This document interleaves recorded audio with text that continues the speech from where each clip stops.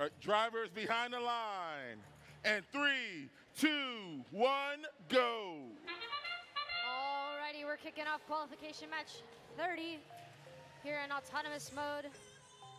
5104 is approaching to dock the charge station, as well as 8033. Neither engage, but now we are in teleop period. Let's see where these drivers go. 5104 is taking the cone, going to place it in their community grid. On the third level, we have the Wild Hats going to take a cone from their team on the other side of the field. 6711 had placed a cube on the third level right out of Teleop. 8033 scooping up a cube to take back.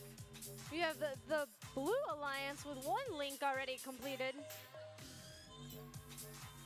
1422 putting a cube on the first level.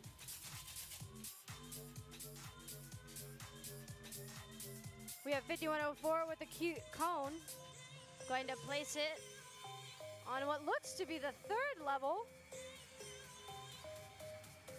Wild Hats taking a cone back across the field from their human player station. 8033 jetting across the field to their human player station to pick up a cube. We have community grids, so we only need four of those links completed for a ranking point. Three on the Blue Alliance, one on the red.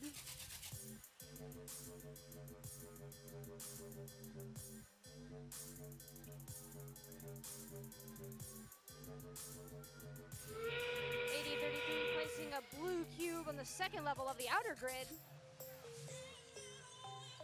We have 20 seconds left in this match. 14-22, 5104.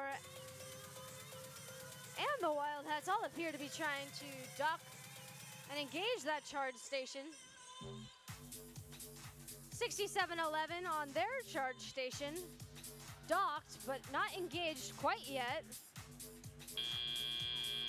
And 6711 in this match will be the Blue Alliance for the win.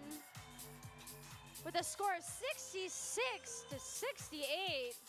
Very small difference there. About the difference, without that penalty, would have been a different game.